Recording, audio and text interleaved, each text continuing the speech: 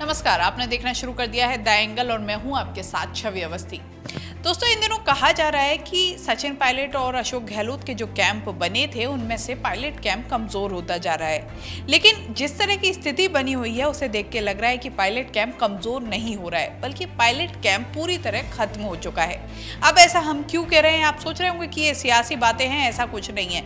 दरअसल, अगर हम थोड़े से जो बीते दिनों में कुछ घटनाक्रम हुए हैं, उन पर ध्यान दें तो ऐसा लगता है कि जो सीएम अशोक गहलोत चाहते थे, ठीक वैसे ही उसी रणनीति के तहत आगे बढ़ रहे हैं। और ऐसा ही कुछ राजस्थान में हो रहा है, क्योंकि राजस्थान में थोड़ा सा फ्लैशबैक में चलते हैं तो कुछ ऐसा हुआ था, जिसके बाद कांग्रेस को कमज़ोर करने की कोशिश की गई थी। दरअसल, कांग्रेस के ही उप मुख्यमंत्री जो सचिन पायलट हैं, जो उस समय पीसीसी चीफ भी थे, उन्होंने बगावत कर दी थी। और बगावत भी ऐसी, जिसमें बीजेपी शामिल थी और कहा जा रहा था कि ये पूरा खेल बीजेपी और सचिन पायलट का मिला जुला है, राजस्थान में सरकार को गिराने का। लेकिन उसके बाद दरअसल हुआ ये कि पूरा खेल फ्लॉप हो गया और उसके बाद सचिन पायलट को मजबूरी में वापस कांग्रेस में आना पड़ा। लेकिन तभी से लगातार कोशिशें हो रही थी कि कैसे भी दोबारा से गहलोत सरकार को अस्थिर किया जाए। लेकिन सीएम अशोक गहलोत कोई नए खिलाड़ी नहीं है। सीएम अशोक गहलोत पुराने खिलाड़ी हैं और राजनीति के धुरंधर माने जाते हैं, चाणक्य माने जाते हैं। अब ऐसे में उनके सामने जो ये छोटे छोटे पैंतरे थे, वो सारे विफल हो गए और सीएम अशोक गहलोत जो जड़ें थी, उनको मज़बूत करते चले गए। इसकी शुरुआत हुई गोविंद सिंह डोटासरा को पीसीसी चीफ बनाने के साथ। क्योंकि सबसे बड़ी चीज़ थी कि जब तक संगठन और सत्ता एक साथ नहीं होगी, तब तक मजबूती लाना नामुमकिन है और ये बात अशोक गहलोत बहुत अच्छे से जानते सकते थे। अब दरअसल हम जो आपको कहना चाह रहे हैं वो इसलिए है कि अब नगर निगम चुनाव चल रहे हैं। आप जानते हैं कि दो चरणों में चुनाव होने हैं और उनकी पूरी तैयारी हो चुकी है और प्रचार भी एक चरण का प्रचार भी थम चुका है।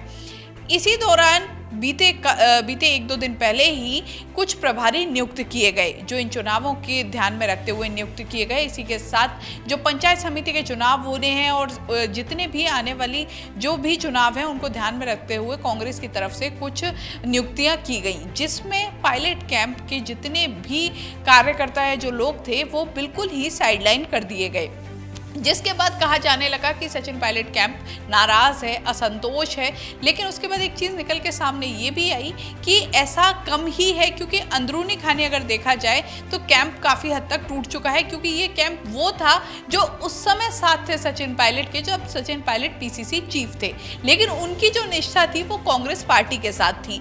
जिनमें से अधिकांश लोग ऐसे थे जिनकी निष्ठा पार्टी के साथ थी और उनकी निष्ठा आज भी पार्टी के साथ है। वो किसी भी ऐसे शख्स के साथ नहीं नहीं होना चाहते, जो पार्टी को कमज़ोर करे। और शायद यही वजह है कि सचिन पायलट के साथ जितने लोग तब थे, अब नहीं है। अब वो लोग अभी भी उसी पार्टी के साथ हैं, उसी पद के साथ हैं, वो पीसीसी चीफ के साथ हैं, जो अब गोविंद सिंह डोटासरा हैं, क्योंकि उनका किसी व्यक्ति विशेष के साथ नहीं, वो पार्टी के साथ अपनी निष्ठा निभा रहे हैं, वो कुर्सी के साथ अपनी निष्ठा निभा रहे हैं। अब ऐसे में जो वो प्रभारी नियुक्त किए गए, उसमें पूरी जो अगर लिस्ट देखी जाए तो उनमें अधिकांश लोग वो हैं, जो कि पार्टी के साथ निष्ठावान बने हुए काम कर रहे हैं। ना कि वो लोग जिन्होंने बगावत की है, ना कि वो लोग जिन्होंने कांग्रेस को कमज़ोर करने की कोई प्रयास किए।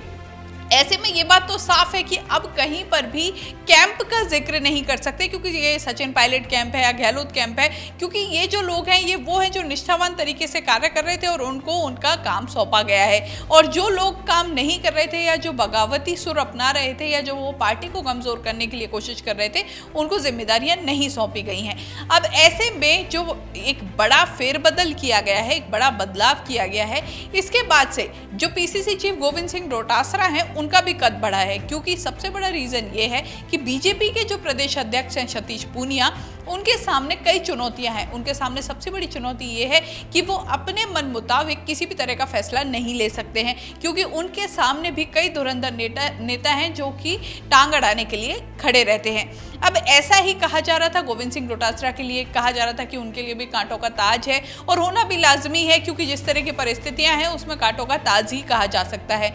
लेकिन गोविंद सिंह डोटासरा ने बीते कुछ दिनों में जिस तरह से संगठन में अपनी पकड़ बनाई है और सत्ता और संगठन के बीच जो समन्वय रखा है, उसके बाद साफ़ तौर पर कहा जा सकता है आला कमान की तरफ़ से भी जब ज़रूरत पड़ी तो उन्हीं को बुलाया गया। इससे साफ़ है कि गोविंद सिंह डोटासरा जो जो उनकी एक जिस लिए उन्हें बनाया गया था, वो अपनी उस दायित्व को, ज़िम्मेदारी को बखूबी निभा रहे हैं और यही वजह है कि चाहे राजस्थान के मुख्यमंत्री अशोक गहलोत हों, अजय माकन हो, जो कांग्रेस के प्रभारी हैं, या फिर आला कमान, सभी जगह वो खड़े उतरते नज़र आ रहे हैं। अब इसके बाद ये तो साफ़ है कि ये तैयारी अभी की नहीं है, ये तैयारी है आने वाले चुनाव में, जो विधानसभा होंगे उसके लिए, क्योंकि इस बार कांग्रेस नहीं चाहती है कि किसी भी तरह से खेमों में बटा जाए या किसी भी तरह से गुटबाजी में बटा जाए, कैंप में बटा जाए। इसीलिए शायद ये धीरे धीरे कोशिश हो रही है कि जो कैंप बनाए गए थे, चाहे वो पायलट कैंप हो, डोटासरा कैंप हो, डूडी कैंप हो या फिर गहलोत कैंप, उनको खत्म करके कांग्रेस को बनाया जाए और कांग्रेस के एक हाथ